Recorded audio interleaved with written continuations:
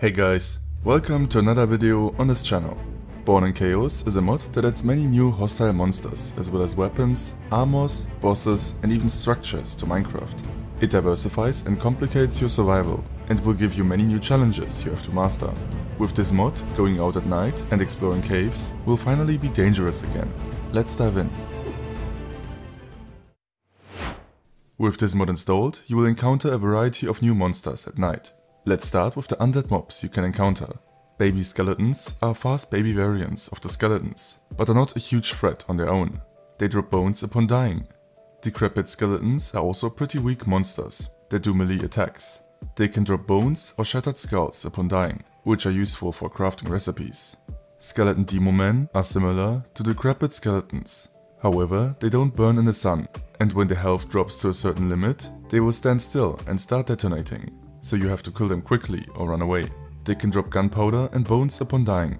Decaying zombies are like normal zombies, but when they are on low health, their flesh falls off, dropping rotten flesh items or bones, and they will turn into decrepit skeletons. The bone imp is an enhanced version of the baby skeleton that can be found in the nether. It can drop coal, bones and firelight dust upon dying.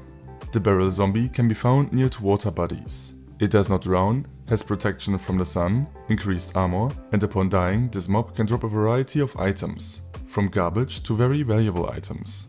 The Door Knight has protection from the sunlight, increased armor, and can even block your attacks. To prevent it from blocking your attacks, set it on fire or attack it with an axe. It can drop rotten flesh, iron ingots, pieces of dark metal, mesh doors, carrots, or rarely a pitchfork upon dying. The zombie clown is a slow enemy that will smash an intoxicating potion on you upon hitting you, which will slow you down and give you several other negative effects, like dizziness and poisoning. It can drop rotten flesh, poisonous potatoes, an intoxicating dagger, and intoxicating decoctions upon dying. Zombie fishermen can spawn your bodies of water. They don't burn in the sun, attack you with a rotten fish, which will give you the rotten stink effect. This effect will spawn a swarm of midges around the target, and every 20 seconds it summons a corpse fly near the target. If the target is in water, it summons a corpse fish. Zombie fishermen drop rotten fish and flesh, as well as salmon, pufferfish, river mint and enchanted fishing rods upon dying. The swarmer is a zombie infected with flies that does not burn in the sun. When it receives damage, it will periodically summon a corpse fly. Upon dying, it will explode, releasing a swarm of flies, maggots and sometimes bloody gadflies. It can drop rotten flesh, corpse maggots and slime balls upon dying. The zombie bruiser is a pretty dangerous zombie that has more health, is faster and stuns you and knocks you back upon hitting you. The stun effect will prevent you from moving and reduce your damage for the effect's duration. It can drop rotten flesh, iron ingots, oak logs, pieces of dark metal and golden carrots upon dying. The skeleton thresher is slow but really strong and can block your attacks. To deprive it of the ability to block attacks, set it on fire or attack it with an axe. The mob deals a lot of damage, knocks you back and briefly stuns you upon hitting you. It can drop bones, shattered skulls, shields, a skullbreaker hammer and piles or pieces of dark metal upon dying. The spirit guide can be found in dry and hot biomes. It does not burn in the sun and will inflict the magic depletion effect on you, which prevents you from using certain items from the Born in Chaos mod for the effect's duration. It can also prevent mobs like the Bones Caller from summoning minions. During battle, it can summon small helpers. The mob drops bones, marigolds, shattered skulls, ethereal spirits, and pieces of dark metal upon dying. Marigolds can be crafted into orange dye. The Bones Caller uses a magic staff as a weapon and uses ranged attacks. It can summon baby skeletons to attack the player. You can disable that ability by setting it on fire or throwing a potion of magical depletion at it. Upon dying, the mob can drop bones, pieces of dark metal, shattered skulls, and seeds of chaos, as well as the orb of the summoner and staff of magic arrows. The Fallen Chaos Knight is a very dangerous monster with a strong armor and high movement speed. The mob does not burn in the sun and can't be damaged by arrows. Upon hitting you, it will inflict the cursed mark effect on you. When this effect expires, up to 4 Scarlet Persecutors will spawn around you Upon dying, the mob can drop rotten flesh, pieces and piles of dark metal, seeds of chaos, and dark metal upgrade smithing templates. The zombie lumberjack is a zombie armed with a special axe, with which he can instantly break a vanilla wooden shield, and which also deals a lot of damage. It can drop rotten flesh, logs, iron, and occasionally a wood splitter. Siamese skeletons is a new type of baby skeleton that consists of two skeletons in one and has a similar behavior to baby skeleton. When the mob is at half its health, it will split into two skeletons. The mob drops fused bones. Let's move on to spirit mobs, some of which will disappear in direct sunlight. With this mod installed, blazes, ghasts, phantoms, vexes and allays will also count as spirits and will receive more damage from certain weapons. The Scarlet Persecutor, which is summoned by the Cursed Mark, chases the player at a great distance of up to 150 blocks. The monster can fly and will make sharp attacks towards you. If you have been cursed by the Cursed Mark, hide in narrow spaces, so the spirits cannot appear. The mob drops ethereal spirits upon dying. Restless spirits will shackle and slow down your movement upon hitting you. They can fly and can drop ethereal spirits or chains upon dying. Phantom creepers act like usual creepers, but if you hit the mob, it will split into two copies of itself. But don't worry, it can't divide into copies more than once. The mob spawns in the overworld, but also in warped forests in the nether and in the end dimension. It can drop phantom powder upon dying, which can be used to multiply gunpowder. The pumpkin spirit is a neutral mob that can be found on farm structures and will attack all monsters in the territory. It is vulnerable to fire, because as it comes in contact with fire, it will turn into a seared spirit. You can make your own pumpkin spirit scarecrow by placing two dark oak logs, a block of hay and a carved pumpkin above each other, and then right clicking on the pumpkin with the ethereal spirit item. The mob can drop hay blocks, carved pumpkins, sticks and ethereal spirits upon dying. The seared spirit is hostile, sets you on fire, and is no longer a defensive golem. It takes damage by water or rain, and is immune to fire damage. You can heal this mob again by right-clicking it with a transmuting elixir in your hand. This will turn the mob into an infernal spirit, which is a stronger version of the pumpkin spirit that will attack all monsters again, and which will have protection from fire, and which will inflict the infernal fire effect on its targets. The seared spirit can drop ethereal spirits, charcoal, a flaming evil pumpkin, and firelight dust upon dying. The Dark Vortex is a spirit that launches blinding clots of darkness at you. The mob can disorient you a lot and reflects all projectiles. It can drop ethereal spirits and dark rods upon dying. The Nightmare Stalker is an extremely dangerous spirit that will appear from the third night of the game on. Its appearance is accompanied by special sounds and a message in chat. The mob is usually moving around while being invisible, and you can only see its two glowing eyes. In its invisible state, it is much faster, but as soon as you hit it, it loses invisibility. The mob can notice you up to 70 blocks away, immediately starting to stalk you. When attacking you, it produces a scream and casts a gaze of terror, which will give you blindness, magical depletion, and also wither as well as darkness. While having the gaze of terror effect, you're prevented from using some magic items. The longer you survive in your Minecraft world, the stronger the stalker will become, with a maximum strength after 100 days. The mob can drop ethereal spirits, pieces of dark metal, monster flesh, nightmare claws, monster skin, and the nightmare stalker skull. The missionary is a spirit mini-boss that will appear after the 10th day. It is accompanied by two zombie villagers. The mob will shoot magical projectiles at you, that when they hit, will cause evoker fangs to appear under the target. The first time you hit the mob, it will cause rain. When it receives further damage, it will teleport itself and will summon undead mobs a couple of seconds later. You can prevent the teleportation and summoning of undead using the magical depletion effect and the nightmare scythe respectively. The mob can drop random charms, ethereal spirits, the orb of the summoner, and pieces or piles of dark metal. Besides undead and spirit mobs, there are also some further monsters.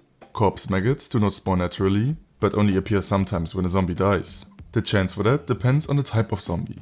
The mobs are pretty weak and slow, but can be annoying in numbers. You can disable their appearance using the game rule Maggot's Appearance. They drop Corpse Maggot. Corpse flies are weak mobs that can be strong in numbers. Despite their wings, they are not able to fly above a block, but they are able to soar. Corpse flies will also attack decaying zombies, slowly turning them into swarmers, if you don't kill the zombie first. Corpse flies can also drop corpse maggots upon dying. Bloody gadflies are like corpse flies, but stronger. They spawn near to bodies of water and inflict miasmas on you, which will give you periodic damage until your health is below 17 units, so 8 hearts. The effect blocks the regeneration effect, and when the effect ends, it summons maggots next to you.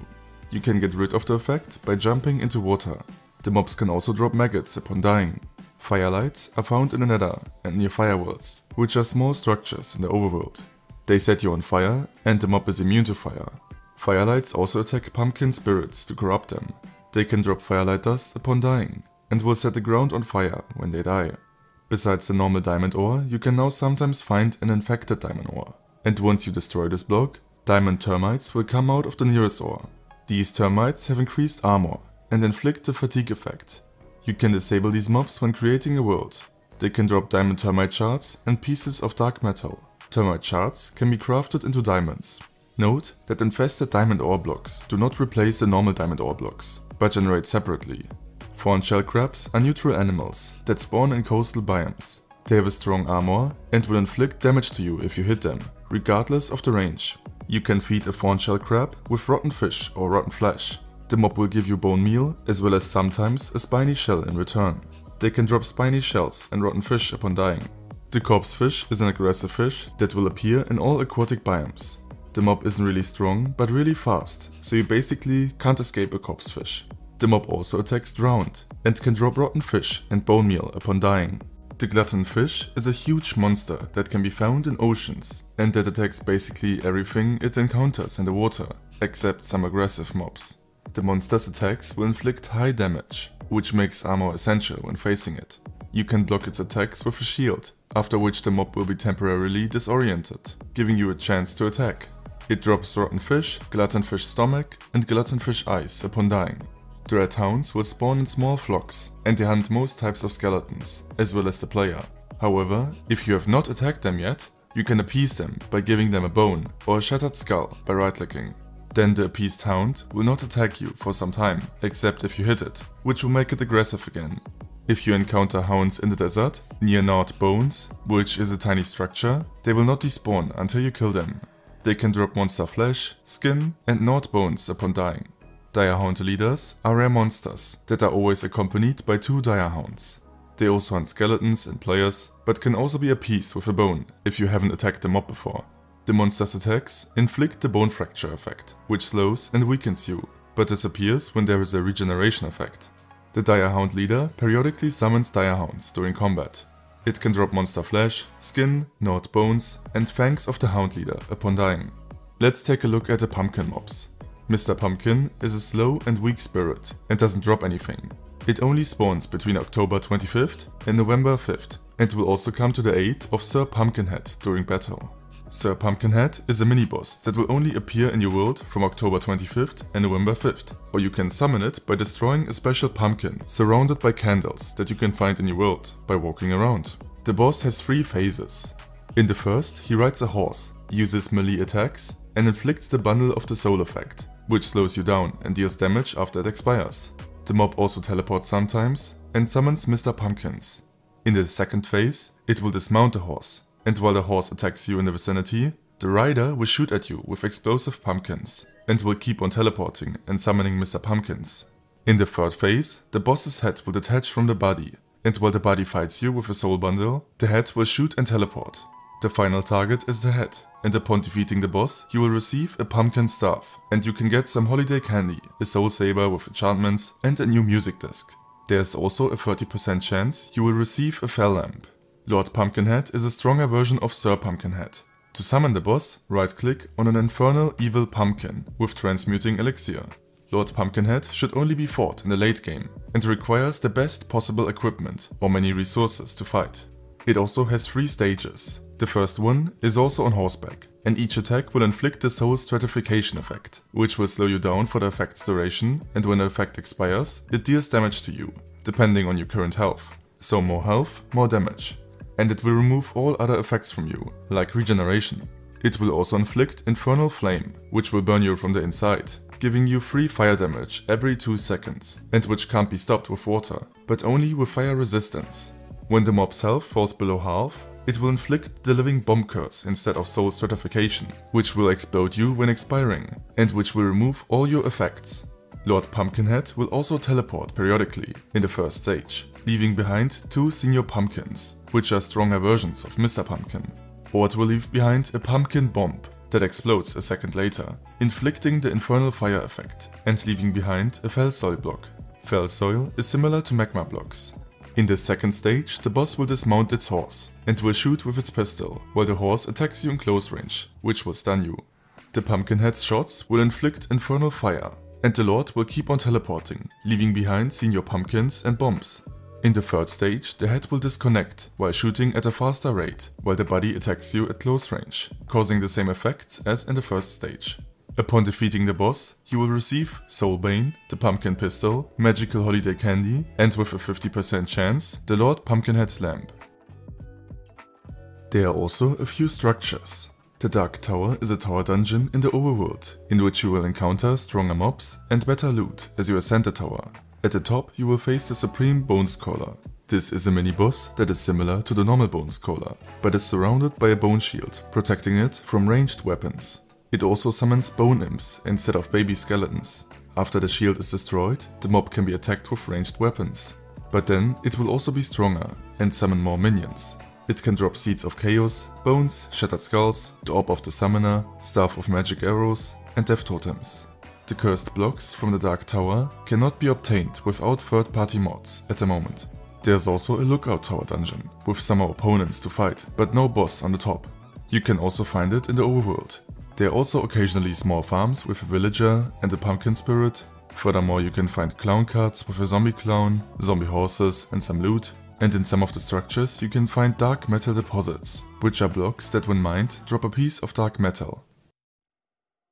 Let's move on to the equipment. The spiny shell helmet and chestplate can be crafted using spiny shells and will give slightly less protection than their diamond counterparts as well as inflict 2 retaliatory damage per armor piece to attacking enemies. By enchanting it with thorns, you can increase retaliatory damage up to 10. It will also give you immunity against spiny shell traps and retaliatory strikes of the thorn shell crab. The full nightmare armor set gives also slightly less protection than diamond armor and will increase the effectiveness of magic items and weapons. Here's a list of all bonuses. The helmet will also let you move faster in the dark, the armor can be crafted using monster skin, pieces of dark metal, the Nightmare Stalker skull, and dark metal ingots, which are smelted piles of dark metal in a blast furnace. The dark metal armor will give you more armor and armor toughness than netherite armor. A full set of dark metal armor protects you from the wither effect, and at 3 hearts or below, the armor gives you the rampage effect of the maximum stage, which means 15 additional damage and 100% additional movement speed. The Rampage effect is an effect with 5 stages It will increase with each level your speed and damage with the maximum of 15 additional damage and 100% additional movement speed. To craft the armor you need netherite armor parts and then put them with a dark metal armor plate and a dark metal upgrade smithing template in a smithing table. The smithing template can be dropped by the fallen chaos knight or be found in chests in the new structures of the mod. For most weapons, you will need a new bone handle, which is crafted using pieces of dark metal and dark rods. The Staff of Magic Arrows does not require ammunition and shoots magic arrows. It gives average damage and some knockback, and can be used as a weak melee weapon as well. You can also use it in your second hand. The Bones Caller staff lets you summon two baby skeletons by right-clicking on a block. The skeletons will attack all monsters they see, and they disappear after a minute. After using the staff, you will get the magical depletion effect, which prevents you from using the summoning again for a few seconds. The Orb of the Summoner, which you need to craft the staff, is a rare drop of the Bones Caller, or a guaranteed drop of the Supreme Bones Caller. The Pumpkin Staff shoots exploding pumpkins, which won't break blocks. When it hits a block, it sometimes calls for Mr. Pumpkin to help you. Mr. Pumpkin is slow, but deprives monsters of using some magical abilities, or the ability to block attacks, Mr. Pumpkin will disappear after 2 minutes. You will also receive the magic drain effect after summoning him. The pumpkin staff requires pumpkin seeds to fire. The pumpkin pistol is a magical ranged explosive weapon and will apply the infernal fire effect to the target, but not destroy blocks. You can reduce the cooldown and increase the duration of the ignition by wearing a full nightmare armor set. It also needs pumpkin seeds to fire. The Nightmare Scythe is a melee weapon with a low attack speed, but each hit will inflict blindness, magic drain and wither on the target, and will heal the wielder. It is really effective against the Bones Caller, as it prevents the mob from summoning minions after the first summoning, and it prevents your Pumpkinhead from teleporting. It is crafted using Nightmare Claws. The Great Reaper Axe will let you go in a short-term rampage when slaying an opponent, which increases your damage and speed. For each consecutive kill while on the rampage, the effect will increase until reaching a maximum with level 5, and then just extending the effect and healing you. If you drink a potion of rampage after reaching level 5, its duration will be extended, from a few seconds to a couple of minutes. The Dark Ritual Dagger is a fast melee weapon. By right clicking on a summoned minion or animal like sheep, pig, cow or chicken, you can heal yourself and give yourself strength. The amount of health depends on a sacrificed victim. The intoxicating dagger inflicts poison on the target, slowing it down and giving it nausea. It is ineffective against undead mobs. The Soul Saber imposes the Soul Stratification effect on the target, which will slow it down and upon expiring will deal damage to the target. The higher the health of the target, the higher the damage. It also removes all other effects from the target. The Soulbane Sword will also apply the Soul Stratification effect, as well as Infernal Fire, Wearing a full set of Nightmare armor will reduce the time between the soul stratification damage effects. The Skullbreaker hammer can push the opponent away and stun it, when jumping or being in the air while hitting. You can craft it using a dark metal block. The Dark Warblade is a two-handed sword that can only be used while under the effect of strength. Otherwise you will be slowed and weakened. This sword deals a lot of damage and applies the breaking a bone effect on the victim. Strikes also remove regeneration effects from the target and prevent mobs like the Door Knight and Skeleton Thresher from blocking attacks. The sharpened Dark Metal Sword deals more damage to undead mobs. The Spirit Divider deals more damage to spirits. The Pitchfork can rarely be dropped by the Door Knight and has a cool animation when being used with better combat. The Shell Mace deals more damage to the target if you are in water or in the rain. The damage is not reduced by armor, the Wood Splitter is a new tool similar in efficiency to gold and in strength to iron. An attack with this axe prevents mobs such as the Door Knight and Skeleton Thresher from blocking attacks. It can also instantly break wooden shields. The Hound Trap deals high damage to anyone who steps on it. It immobilizes the target for a short time and inflicts the bone fracture effect. The trap deals half as much damage to players as well as increased damage to undead or animal mobs. It can be pre-activated by throwing an item at it, which will destroy the item, or by hitting it with a projectile. It can be crafted with the fangs of the Hound Leader. The Spiny Shell Trap deals periodic damage to everyone who steps on it, like a cactus. Entities protected from this type of damage, for example because of the Spiny Shell armor, will not receive it. The spikes also slow down the target a bit and prevent the target from jumping out. The Supreme Measure is a creative mode item that deals 5000 damage. There are some further items. The intoxicating bomb is like a lingering potion and can be crafted using intoxicating decoctions. The explosion will not break blocks, but destroy loot and create a puddle that inflicts intoxication on whoever steps into it. The Death Totem is like the Totem of Immortality, as it saves you from lethal damage when held in your hand, while quickly healing you and granting you strength. However, it almost completely deprives you of satiety and saturation, and imposes the effect of magical depletion, which prevents another death totem to work. It is crafted using seeds of chaos and shattered skulls. Rotten flesh cannot be composted or smoked, so it will not inflict hunger when eaten.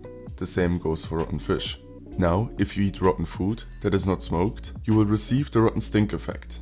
Maggots can be eaten or smelted and eaten afterwards, Bottles of magical energy will remove effects of mining fatigue and magic depletion.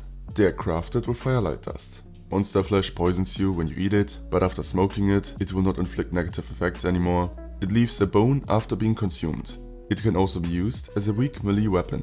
The glutton fish eye can be eaten to restore your oxygen level, or be brewed into a long-lasting potion of water breathing. Simply use the same ingredients like in vanilla, only using the eye as the main ingredient. Right-click with a gluttonfish stomach in your hand to open its contents with some possible valuable items. River mint is a new plant that can be found near water bodies. It can be crafted into mint ice cream, which will extinguish you from burning, including infernal fire. And it can be crafted into mint candy, which will remove the rotten stink effect and hunger when eaten. A potion of rampage is a powerful potion that grants the rampage effect. With each repeated use of the rampage potion, you can increase the effect up to level 5. In combination with the Reaper's Axe, you can bring yourself to the 5th level of Rampage, thereby extending the maximum effect with just one potion. Transmuting Elixir is a very expensive item that will allow you to transform specific mobs into something else by right-clicking on the target. The main use is to transform the evil Infernal Pumpkin into Lord Pumpkinhead. You can also transform an iron block into a dark metal block. a block of raw gold into ancient debris, an amethyst block into a diamond block, and you can transform a seared spirit into an infernal spirit. The fell lamp can be dropped by Sir Pumpkinhead and allows you to summon the fell steed by right clicking on a block. This mob can be ridden and you can increase its movement speed by feeding it ethereal spirits. The fell steed can walk on water by placing down temporary fell soil. The mob can be returned to the lamp by shift right clicking on it with an empty lamp in your hand. Lord Pumpkinhead's lamp works similar but summons a larger mount. If you lost your mount, you can fill the lamp again by crafting it together with an ethereal spirit and orb of the summoner. Fused bones can be made into a bone heart. This is a consumable item that when used gives the effect of the bone barrier for almost an hour. The effect blocks any initial damage and then disappears. Charms come in 5 types. Each charm has 5 charges and requires ethereal spirits to be used. When used, it costs 1 charge and 1 ethereal spirit and will give you 1 minute of the respective effect. The Charm of Strength grants Strength 3. The Charm of Resistance, Resistance 2. The Charm of Stealth grants Invisibility 3 the Charm of Endurance grants speed 3 and fully restores saturation, and the Charm of Fury gives the second level of Rampage and restores some health. Holiday Candy and Magical Holiday Candy can both be eaten. Holiday Candy restores 4 saturation points, and Magical Holiday Candy restores saturation completely. They can be eaten at any time, even if the hunger indicator is full. Finally, there are some new building blocks, like a variety of bone blocks, like Bundle of Bones, which can be crafted using bone bundles, and piles of skulls. There are also black argillite blocks that are crafted using black argillite, which spawns at a depth of 17 to minus 17. There are scorched log blocks, which are created by combining any standard logs and firelight dust. The planks can be made brittle by right clicking them with an axe. After doing that, the planks will break when stepped on. There's a new type of fence called dark grit. Furthermore, you can craft a variety of new colored glass blocks called ornate glass and a new argillite lamp. The Flaming Evil Pumpkin and Infernal Evil Pumpkin can be crafted with an Evil Carved Pumpkin. An Evil Carved Pumpkin can now be obtained by using shears on a cultivated pumpkin. A cultivated pumpkin is made by combining a regular pumpkin with bone meal. Mesh doors are occasionally dropped by the door knight.